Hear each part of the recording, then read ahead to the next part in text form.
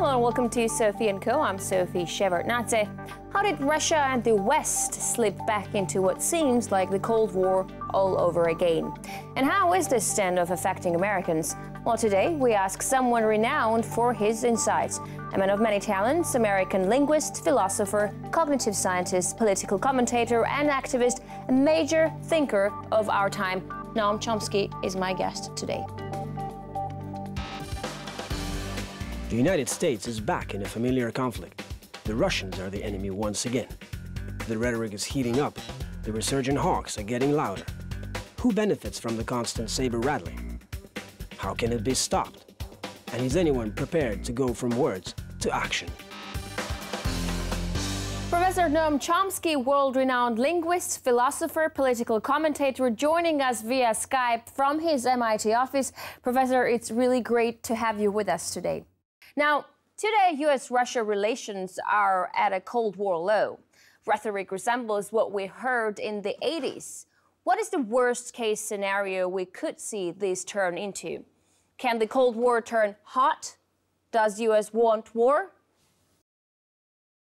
The worst scenario, of course, would be a nuclear war, which would be terminal, both for the state that initiates it, which would be wiped out by the consequences, and the, that's the worst case.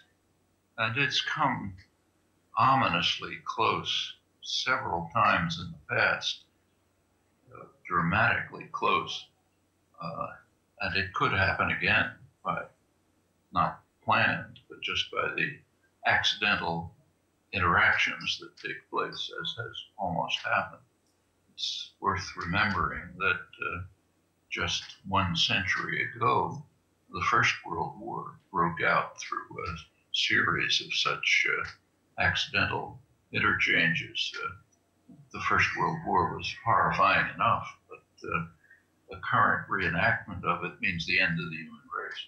President Obama came to power promising to work towards complete global nuclear disarmament. Well, now there is plans to spend $1 trillion on nuclear arms in the next 30 years. But with major powers only acquiring more nukes, it's only obvious that there, the others will want as well. So could we see the nuclear non-proliferation regime crumble in the near future? We can think back as far as 1955, when uh, Bertrand Russell and uh, Albert Einstein uh, produced a an appeal, a joint appeal to the people of the world, in which they said to all of us, uh, you have a choice that is stark, unavoidable. Uh, the question is, will you eliminate war or will you eliminate the human race? Those are your choices. And uh, we've come awfully close several times since the missile crisis in 1962 was uh, described by Kennedy's associate historian Arthur Schlesinger as uh, the most dangerous moment in history. He was quite right. Came very close to nuclear war. There have been many cases, not that serious, but pretty close, where a few minutes, human intervention with a few minutes uh, choice has prevented a nuclear war. You can't guarantee that that's going to continue. Uh, may not be a high probability each time, but if you play a game like that with uh, low probability risks of disaster over and over again, you're going to lose. And now, especially in the crisis over Ukraine and the so-called missile defense systems uh, near the borders of Russia, it's uh, it's a threatening situation. Mm-hmm. Uh, Professor, U.S. Secretary of Defense Chuck Hagel said the U.S. needs to deal with Russia's army on NATO's doorstep. But as you yourself put it, America's red lines are firmly placed at Russia's borders.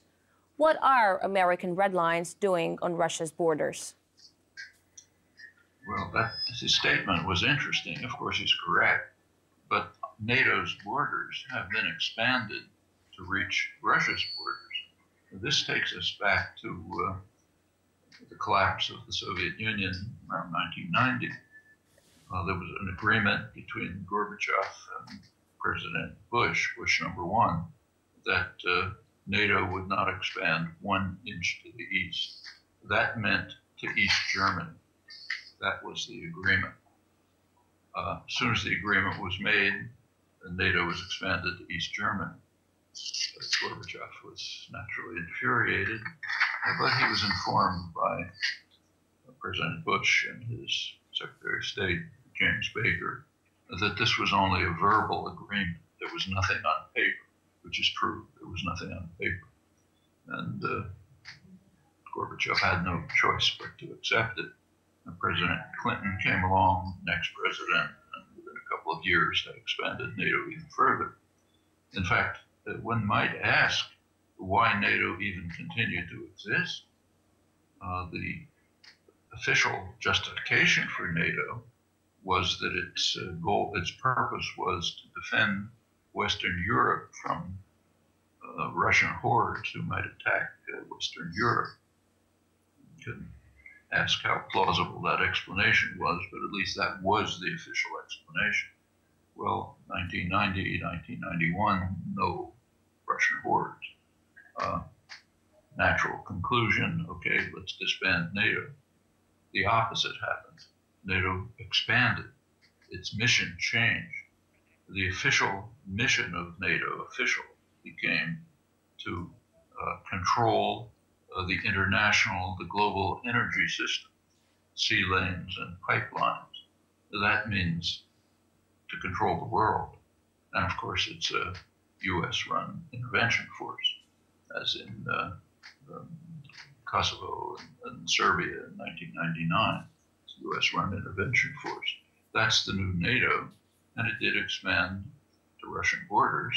So Hagel is correct that uh, Russia is on NATO's borders. But, uh, it's as if uh, the Warsaw Pact had expanded to Mexico and Canada, and then uh, know, the Russian premier said, well, uh, the United States is on the Warsaw Pact's borders, which would have been true, but a little bit misleading. Uh, you know, watching and reading the US media, it's hard not to be surprised at the calls for war in one form or another. I mean, there are wordings like red lines, no options off the table, lethal aid, troops on the ground, and all of this is presented like it's no big deal and not only in the press, but by the government officials as well. Now, you are a scientist of words, of mind. You, you are, you know, a political activist. What do you make of it? Why are Americans apparently so ready to go to war? Well, I don't think they're ready to go to war, but uh, the, the commitment to sort of control the world is very strong and pretty natural after all, this is the one global superpower. And this incidentally goes way back. Uh, so the peak of American power uh, in history was around 1945. In 1945, the United States literally had half the world's wealth. Uh, and very naturally, American leaders uh, wanted to uh, design and organize a world system which would uh, benefit uh, primary uh, domestic uh, centers of power. That essentially means the U.S. Cor- corporate system. the origins of the multinational corporation began to develop at that time, abetted by the Marshall Plan and so on. And there were detailed plans for assigning to every part of the world their, what was called their function within the global system. That began to collapse very quickly there's a lot of talk these days about American decline, which is correct, but it's rarely recognized that the decline began at once. Uh, in 1949, uh, there was a serious blow to U.S. global hegemony, China's independence. There's a name for that in U.S. history and Western history. It's called the loss of China. But just think about that phrase for a minute loss of China. I mean, I, I can lose my computer. I can't lose your computer, right? I can only lose what I own. And the assumption, the tacit assumption is we own China. We own the world. So if any part of it becomes independent, there's the loss of China, or the loss of Indochina, the loss of the Middle East, and so on. However, it's worth recognizing, going back to your comment, that there is criticism of this in very uh, uh, prestigious places. So the leading establishment journal in the United States is Foreign Affairs, the journal of the Council on Foreign Relations. That's as central to the ruling dominant establishment as you can get. Now, their last issue, uh, the lead issue advertised letters on the front page, uh, was an article by a well-known international relations specialist, John Mearsheimer, with the headline something like uh, the West is responsible for the crisis in Ukraine. And it's a critique of Western, meaning U.S. policy, that has driven things to the point where there is a serious crisis in Ukraine, a crisis that, as Mearsheimer points out, uh, seriously affects uh, Russian geostrategic concerns and would do so no matter who was in charge of Russia, just because of the geostrategic nature of the uh, of the circumstances. Well, that's right in the main uh, establishment journal, the lead article. So it's not that this is going on without critical discussion. There's some, not enough, I think, but some. Professor Chomsky, we're going to take a short break right now. When we're going to come back, we'll continue talking to world-renowned academic Noam Chomsky. Stay with us. Professor Noam Chomsky, philosopher, cognitive scientist, political commentator, joining us via Skype from Boston. Welcome back to the show. Russia's Vladimir Putin says the West can't isolate Russia through confrontation and sanctions. What do you think? Is he right? It can't isolate Russia. It could cause serious harm to Russia, but of course, but what it's likely to do, and it's beginning to do, I'm not the only one to point this out because it's obvious. Uh, what it's doing is driving Russia towards the east, towards uh, closer relations with China. Uh, there's plenty of hostility way back in China and Russia, but there are also some common interests. And the sanctions and other pressures against Russia are almost compelling Russia to move towards closer relations with China. China is the center of the what's called the Shanghai Cooperation Organization, uh, a, a, a, very substantial international system based in China, which includes uh, India, includes Russia, includes Pakistan, includes the Central Asian states, Kazakhstan, Turkmenistan, and others. Uh, big international system The current U.S. policy is driving Russia towards closer interaction with this Chinese based system. Uh, in this uh, interaction, Russia is actually the weaker partner, so it's making concessions. Uh, but the U.S. is openly uh, creating a system of power uh, which could uh, be a which could significantly diminish U.S. domination in the world. now, this is a confrontation that's going on all over. It's part of Obama's pivot to Asia. There's a Trans Pacific Partnership, so called, a huge commercial treaty designed to incorporate the Asian countries, not China, but the other Asian countries, crucially not China, uh, including uh, Japan, uh, Australia, probably India, the uh, southern hemisphere, Chile and Brazil and so on, in a, an enormous uh, trade pact. Uh, exactly what it is, we don't know because it's being kept secret. These things are negotiated in secret, then given to the uh, parliaments to sign, yes or no, meaning yes, no, no discussion, no choices. So it's not a sure thing by any means, but that's the plan, and it's the uh, kind of economic counterpart to the military pivot to Asia, and the sanctions on Russia are helping to create a counterforce uh, based in the Shanghai Cooperation Organization, or an extension of it, which will include Russia, and uh, may uh, begin to move into across the Eurasia, the whole Eurasian region. First to Turkey, then to parts of uh, Western Europe, which have their own uh, close relations with uh, Russia and the East, Germany in particular. I think those are things that are developing, as, and the sanctions are part of it. Professor, I want to talk about the crisis around ISIS a little bit. You've said that the appearance of ISIS and the spread of extremism is a natural consequence of U.S. actions in Iraq. But the emergence of ISIS seemed a surprise to all. How did U.S. intelligence miss it? Well, I'd suggest that you uh, look up on the internet a recent article by Graham Fuller.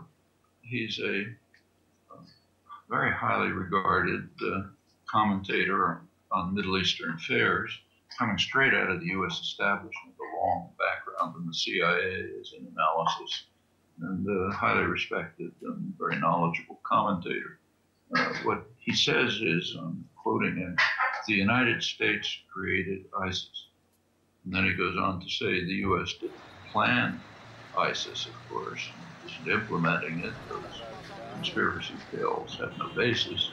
But the U.S. Uh, actions in the region, particularly the invasion of Iraq, that created the circumstances under which ISIS emerged. And I think he's correct. Uh, what happened is uh, the U.S. basically hit Iraq with a kind of sledgehammer. U.S. forces instantly instituted a governmental structure which was sectarian in nature. In particular, uh, there were uh, the Paul Bremer, the kind of uh, viceroy of Iraq, uh, designed a system in which there were uh, participation by Shiites and Sunni uh, in various proportions, but it had to be divided that way. that, along with the counterinsurgency operations, of course, resistance to the invasion, which the counterinsurgency operations, as always, were very brutal and destructive, that all of this came together to create sectarian conflicts, which had not existed before.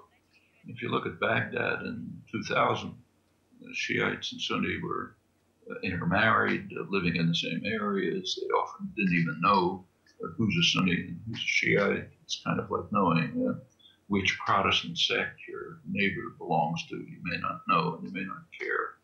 Um, you look at Baghdad 10 years later, five years later, it's uh, broken up into separate regions, walled off from one another, brutal military conflicts, uh, much of the population expelled. Uh, that has since expanded. By now, it's tearing the whole region apart. Uh, Syria is one element of it. The uh, Iran Saudi uh, confrontation is another aspect of it. And out of this emerged ISIS. Uh, Graham Fuller is quite, quite correct. You just quoted a man that you respect a lot who said that it's the United States who involuntarily uh, actually created ISIS. So if it's the United States actions that brought about ISIS, isn't it only fair that the United States should lead the fight against it today? I mean, it's only obvious the political and diplomatic means to solve this mess aren't there. So do you support the U.S.-led bombing campaign? There are ways to respond diplomatically. One conceivable possibility, conceivable, is to act in accordance with the law. There is a reign of international law that's principle. It bars the use of force or the threat of force in international affairs except under authorization by the UN Security Council. A law abiding state would go to the Security Council, uh, ask for a declaration by the Security Council of a threat to peace and request the Security Council to organize and direct response to it. And that could be done. The U.S. could then participate in it, but so could Iran. Remember, uh, you, you, look at the Iraqi Foreign Office, what they want is for uh, uh, Iran to become involved. It's a major military force. If it did enter, it would probably wipe out ISIS in no time. But the U.S. won't permit that. The U.S.-run coalition, which is which is in violation of uh, international, basic international law, excludes Iran, excludes the PKK and its affiliates, which apparently are doing the ground fighting. According to the U.S., they're a terrorist group. Uh, Turkey, which is the closest U.S. ally, is opposed to them. The central U.S. ally, Saudi Arabia, is actually the that's been the source of both the funding, the main source for the funding of ISIS, uh, but also it's the ideological source.